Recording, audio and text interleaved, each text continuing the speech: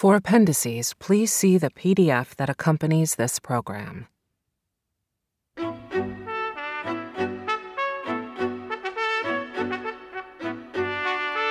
Simon & Schuster Audio presents The American Experiment: Dialogues on a Dream. Edited and introduced by David M. Rubenstein.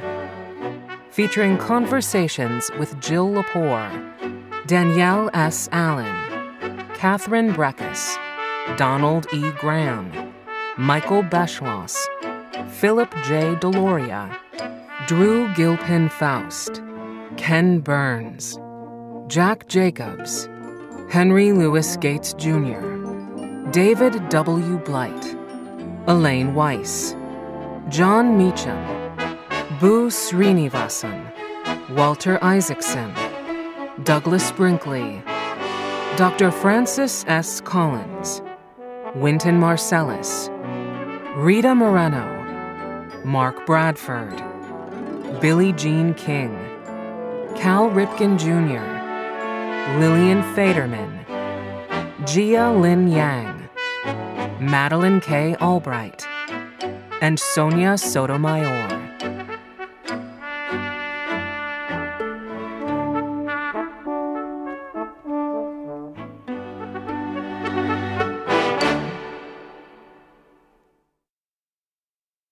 To the public servants who protect our democracy.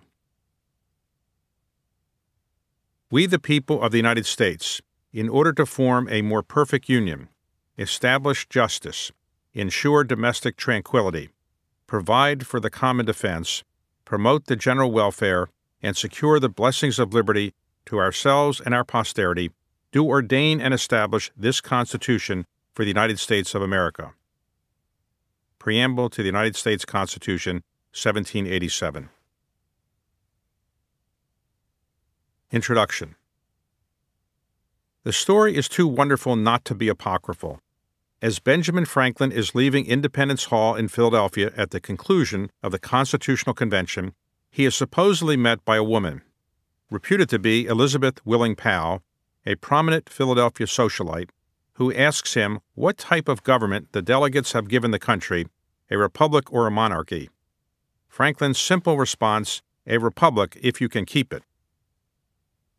For the ensuing 230 plus years, the American people, through extraordinary and at times existential challenges, have kept the republic. Creating such a form of government from scratch was an unprecedented, bold experiment in self government, the American experiment. Without doubt, all 55 delegates to the Constitutional Convention would be shocked that the compromises they cobbled together from May to September of 1787, even with some subsequent 27 constitutional amendments, have survived this long. How did this experiment endure over centuries against all odds? Beyond the constitutional amendments, what legal, social, economic, political, and religious factors came together to ensure the Republic's survival? In my view, the Republic persisted and grew into the most powerful nation on earth as a result of a unique combination of factors that came together in a serendipitous way. I analogize this to our planet. Had the mass that became Earth been much closer to or farther away from the Sun, life as we know it almost certainly would not have evolved. That advanced forms of life occurred here required an unbelievable set of factors to coalesce in a unique way. Similarly, had some of the factors that combined to create the United States not been present to the right degree at the right time, the country as we know it would not have been formed, survived, or evolved to its current state. These factors, our genes, created a country unlike any other. There are many who believe that this unique set of genes has created the world's best country, and that there is therefore a corresponding obligation to spread those genes around the world. Whether or not one holds that view, there is no doubt that America's genes, as they developed, matured, interacted, and coalesced, sustained the experiment that the Constitution's framers created. But that experiment was not and is not without its challenges. The Civil War was the most existential challenge to the Republic's future. Because of their commitment to slavery, the Confederate States seceded from the United States, precipitating a four year war in which about 2.5% of the American population died in combat or from its after effects. And even after the Union won and slavery was ended, life for freed slaves and their descendants produced at least another century of second, if not third class citizenship. Though perhaps less existential, other significant challenges have shaped the country's forward path. Reconstruction and its Jim Crow aftermath, women's suffrage, the Great Depression, World War II, the Civil Rights Movement, the Vietnam War, Watergate, the 9 11 attacks, the Iraq War, the fight for women's equality beyond the vote, the struggle for gay rights, and the Black Lives Matter movement, among other major social, political, and economic challenges. The American experiment is clearly still ongoing. That was evident from two new challenges to this experiment in 2020, challenges that could not have been anticipated even a year earlier. The first was the COVID 19 pandemic, which had killed more than 600,000 Americans as of June 2021. The pandemic changed the way the country lived, worked, learned, and survived to a greater extent than any other single occurrence in American history since World War II. COVID forced Americans to adapt to a remote work life, to worry constantly about their health and mortality, to develop a vaccine in record time, and to vaccinate a record number of Americans, all while dealing with the effects of a recession, an enormous loss of jobs, productivity, and of course, human lives. All of those COVID consequences tested the country's resolve and resilience.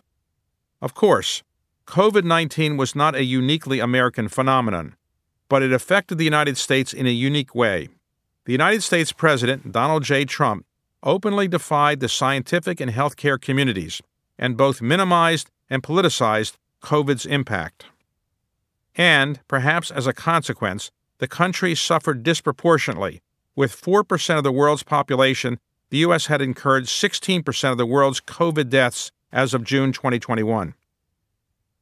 The second major challenge the U.S. faced in 2020 and 2021 was the reaction by President Trump to his election loss to former Vice President Joseph R. Biden Jr. The result was a two and a half month stress test of democracy, really unlike anything the country had experienced since the outbreak of the Civil War. From the day after the election until the days, January 6 and 7, 2021, that Congress finally certified the Electoral College victory of Joe Biden and Kamala Harris, President Trump and a large number of his allies worked hard to convince his supporters that the election was fraudulently stolen from him. Whether President Trump really believed the election was stolen, there being no real documented evidence of systemic election fraud, it is clear that a great many of his supporters did hold that belief, perhaps fueled by the president's daily statements to this effect. A May 2021 poll showed that more than 60% of Republican voters believed the election was stolen from President Trump.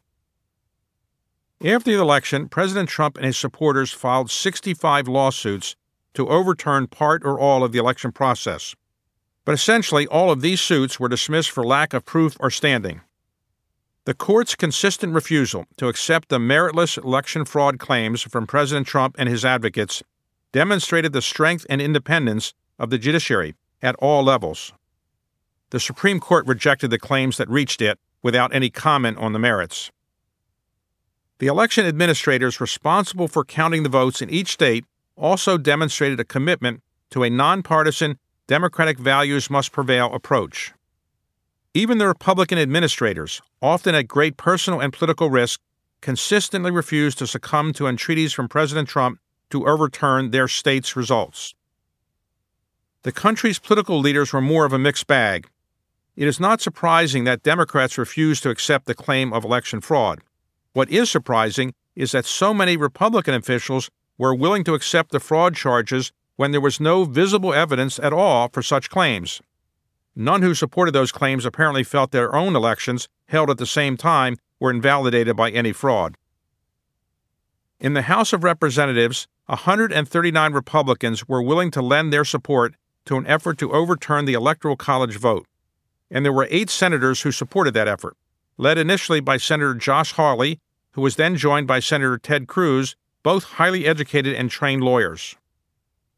But before the vote could occur in either house, hundreds of protesters, insurrectionists, who were Donald Trump supporters, overcame the small Capitol Police contingent and invaded the Capitol, the first such unfriendly invasion since the British burned it in 1814.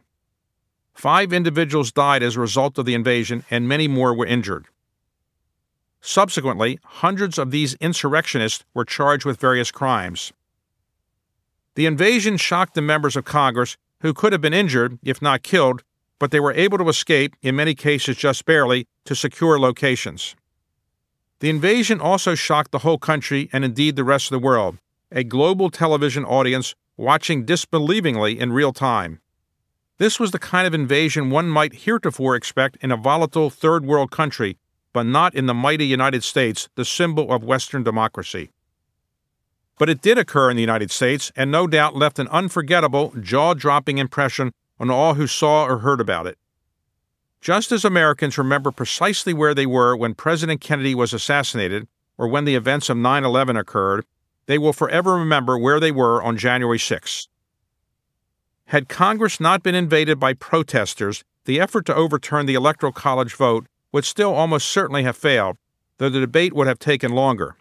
But the incursion made the members rush to vote on the certification that night and into the early hours of the next morning, and they returned to the House and Senate together to do so. And in doing so, the Congress showed that the democracy and the country's core values, its genes, prevailed, but with a scar that damaged America's self image and the image of the country abroad. But could the result have been different? Suppose Vice President Mike Pence had followed President Trump's strong request that Pence not certify the results. Suppose, as a consequence, the election was determined by a vote by state delegations in the House of Representatives, where the Republicans had a majority of state delegations. Or suppose the military had decided to support President Trump's claims following a declaration of military law. Fortunately, none of those unprecedented possibilities occurred this time. We hope you enjoyed this preview. To continue listening to this audiobook on Google Play Books, use the link in the video description.